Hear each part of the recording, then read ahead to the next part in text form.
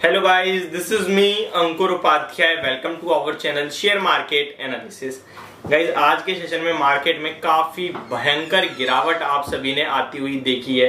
And गिरावट के पीछे का जो रीजन है, वो मैं आप सभी के साथ शेयर करूँ। तो शायद आपको ऑलरेडी कहीं ना कहीं पता होगा बट मैं आपको कुछ इंटरेस्टिंग चीज़ें बताना चाहूँगा। 300 पॉइंट निफ्टी डाउन हो चुकी है अभी। डाउ फ्यूचर्स जाके देखेंगे तो आपको और बड़ा झटका देखने को मिलेगा। साढ़े पाँच सौ पॉइंट्स की गिरावट डाउ फ्यूचर्स में गिर क्यों रही है ये मार्केट कब तक गिरावट चलेगी? कौन से स्टॉक्स को खरीदना चाहिए? सबकी पोर्टफोलियो माइनस में है। क्या स्टॉक्स से निकल जाए? क्या नीचे में दोबारा ऐड कर लेंगे? ये सारे सवाल हर एक बंदे के दिमाग में चल रहे हैं।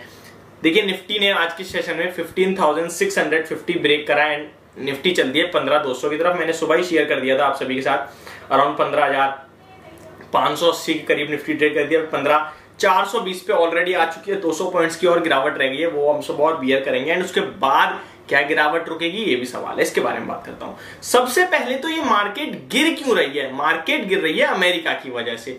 सारी की सारी परेशानी उनकी और पिटाई हमारी। उनकी तो हो ही रही है, क्योंकि उनकी तो खुद की परेशानी है, लेकिन पिटाई हमारी भी हो रही है। क्यों? क्योंकि हम फॉलो करते हैं, हम इमर्जिंग मार्केट है। ठीक है तो मेरे हिसाब से आप सभी को जो क्या करना चाहिए इन लेवल्स पे केवल अपनी पोर्टफोलियो को चेक करना चाहिए, क्या आपके स्टॉक्स सही हैं? क्या आपके stocks large cap, blue chip, fundamentally strong है, डेट फ्री काउंटर्स हैं?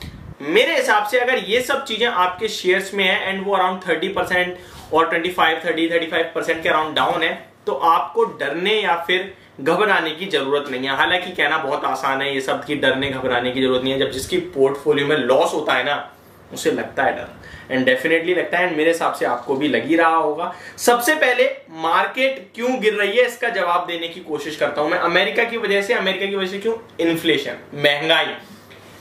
ये देखिए, कल रात 12 बजे एग्जैक्टली मैं जग रहा था। मैं फेड मीटिंग के कमेंट्री की तैयार इंतज़ार में था कि हाँ भाई, कैसे क्या होता है। तो वहाँ 75 बेसिस पॉइंट्स का रेट हाइक करा गया। And six, thirty thousand six hundred fifty पे मार्केट ट्रेड कर रही थी पॉजिटिवली एंड शार्प गिरावट आई। एंड आपको exactly thirty thousand four hundred twenty five तक मार्केट गिरी, दो सौ पॉइंट गिरी एक झटके में। उसके बाद एक बाउंस बैक आया, फिर दोबारा गिरी। एंड फिर मैं सो गया, क्योंकि मैंने देखा कि मार्केट में सब खराब हो गया। भाई, मार्केट को अनुमान जो था वो 50 बेसिस पॉइंट से रेट हाइक होगा, इसका था, उसके सामने 75 बेसिस पॉइंट बढ़ा दिए। तो काफ़ी बड़ा रेट हाइक था। एंड कमेंट्री जो सुनी, वो और ज़्यादा खराब। तो सब खराब। मैंने कहा, अब तो बस भाई, हो गया पंद्रह दो सौ की तरफ़ चल दिए हम लोग। लेकिन सुबह सब चेंज दिखा मुझे। मैंने देखा 300 पॉइंट डाउ जोन्स ऊपर बंद हुए। डाउ फ्यूचर ढाई सौ पॉइंट अप ट्रेड कर रहे हैं। मैं मैं समझ नहीं पा रहा क्या हो रहा है। इसलिए मैंने सुबह एकदम वीडियो बनाई। एंड आप सभी से कहा, ये मेरे समझ से बाहर है जो हुआ है। एंड मुझे यहाँ पे बाइंग नहीं करनी। मुझे समझ नहीं आ रहा है क्यों ऊपर हुआ है एंड मार्केट डाउन जानी चाहिए। एंड अब आप सभी देख रहे हैं बट एक चीज़ मैं आपको बताऊँ, ये होता है पैनिक सेलिंग और यही बॉटम क्रिएशन होता है। ये पैनिक सेलिंग बॉटम क्रिएशन यहाँ स्टॉक्स की बुरी पिटाई होती है ब्रॉडर मार्केट में बुराई, बुरी पिटाई होती है, यहाँ होता है बॉटम ये बॉटम फॉर्मेशन के कहीं ना कहीं संकेत है। आज हम लोग 150 पॉइंट ऊपर खुले, अभी 250 300 पॉइंट नीचे ट्रेड कर रहे हैं।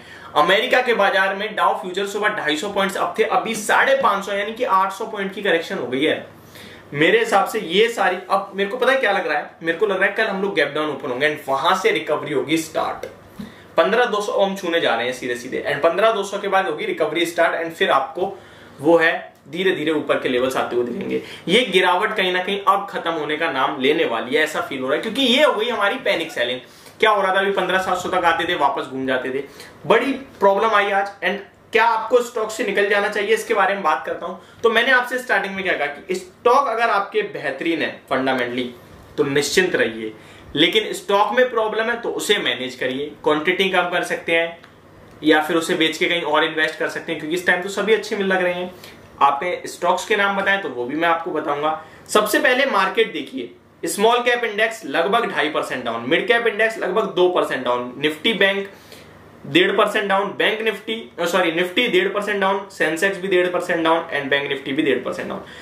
एडवांस शेयर 200 है बस। 200 शेयर पॉजिटिव उसके सामने 1675 शेयर्स नेगेटिव ट्रेड कर रहे हैं।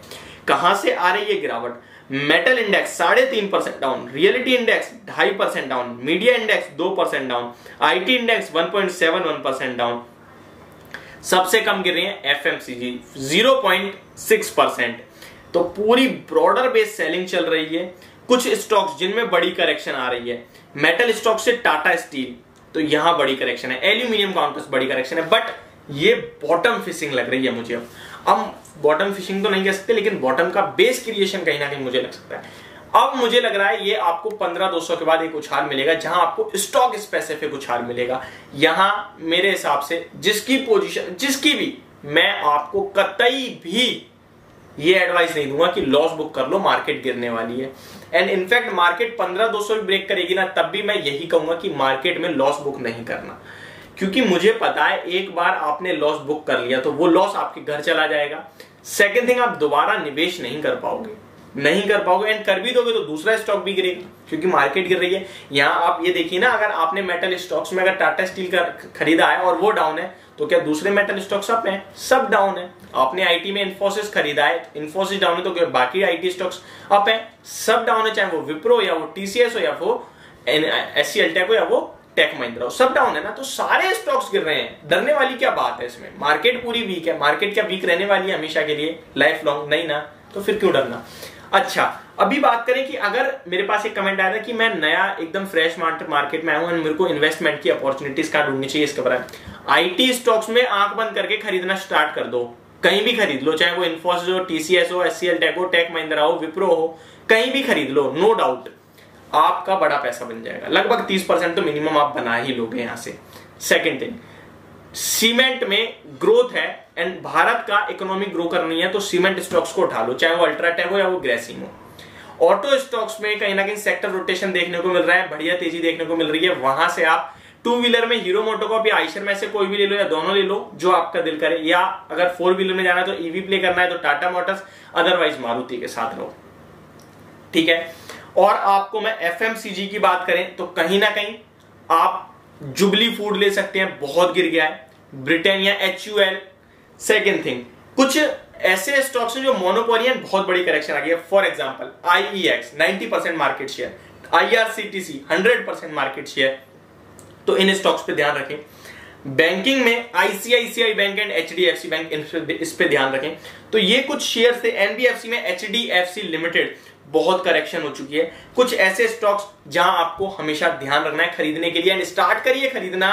एक बार में नहीं खरीदना धीरे धीरे खरीदना है। फार्मा में डीवीज लेव एंड सिप्ला इसमें हमेशा बाइंग बना के रखिए। तो ये स्टॉक आपको बड़ा पैसा बना के देंगे। जितना समय दो, उतना बड़ा पैसा। तो मार्केट पे मेरा व्यू पॉजिटिव है। स्टॉक नेगेटिव चल रहे हैं, मार्केट नेगेटिव चल रही है लेकिन मैं आपसे एक दो महीने की बात ही नहीं कर रहा, मैं तो अगले एक साल, दो साल की बात कर रहा हूँ।